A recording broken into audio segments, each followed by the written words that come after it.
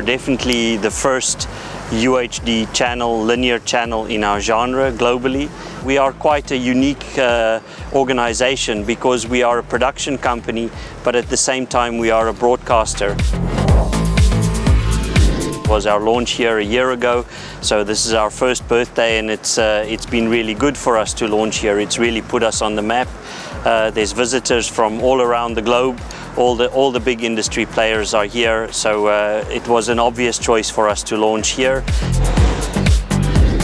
In April at MIPTV, we established some new uh, contacts and opportunities in Asia specifically. Players are interested in uh, taking our UHD content and putting it on VOD platforms there. Uh, Asia is a more challenging market for us. It's a fragmented market, but all the key players from Asia attends MIPTV. Now here at MIPCOM, we've uh, extended those opportunities and, and actually progressed some of that quite significantly.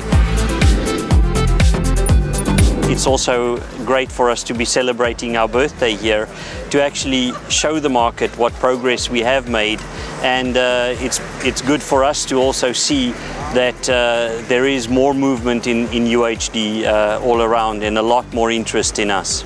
There's a lot of energy here uh, during the events and uh, yeah, it, I, I really love it.